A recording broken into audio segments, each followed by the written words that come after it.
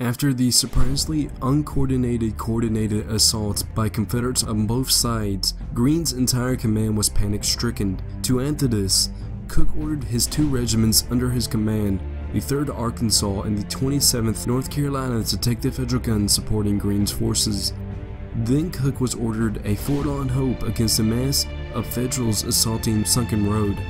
His tiny assault caught the Federals unprepared but floundered soon after they formed up to meet his counterattack.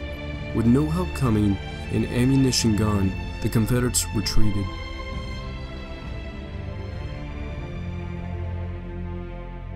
The 3rd Arkansas Infantry Regiment, also called 3rd Arkansas, is the most celebrated regiment from Arkansas during the Civil War. They were raised in May of 1861 by William H. Tebbs and Van H. Manning. The 3rd was one of the first regiments to sign up for service for the entire war. After forming, they would proceed to Vicksburg to offer their services, but were denied only to be sent to the mountains of West Virginia to see their first combat at Cheat Mountain. The 3rd would go on to take heavy casualties during the Seven Days Battle and were reinforced by survivors of the decimated 2nd Arkansas Infantry Battalion. After the Arkansas Battalion was disbanded, the 3rd Arkansas was the only regiment left in the east from its state.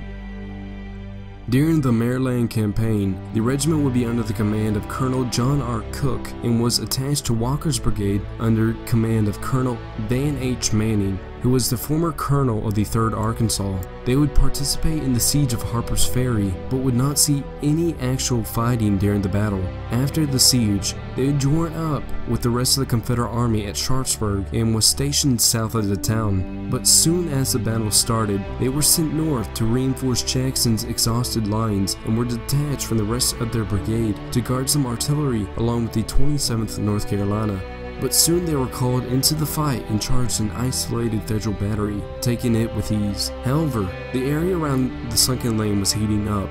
Longstreet ordered Cooke to lead his two regiments in a forlorn hope against the right flank of the Federals. His 675-man assault was initially successful, but soon gave way when the veteran Federal regiments reformed and sent them retreating, with more than half of his men being shot companies A and L were decimated and the survivors of L were transferred to Company A, reducing the regiment to 10 companies.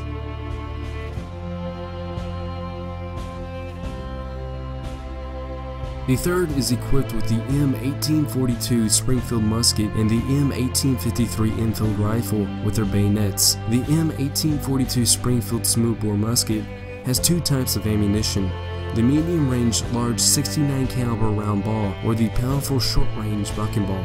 The M1853 rifle is exceptional at medium and long ranges with its 58 caliber Minié ball.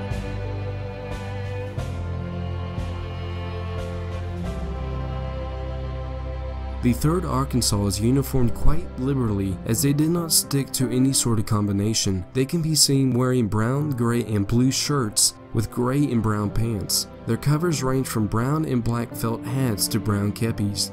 They can be seen wearing their straps for their accoutrements.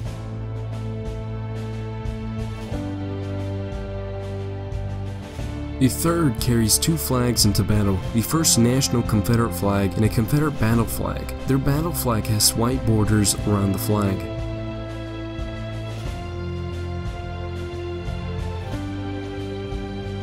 In War of Rights, you can find the 3rd Arkansas along with the 27th North Carolina on Cooke's counterattack in Roulette Lane as they attack the fleeing Federals by Mumma's Farm and catch the unprepared Yankees at Roulette Lane. Now what will you do? Will you catch the Yanks unprepared with a third, or will you stand tall and send them back to the West Woods?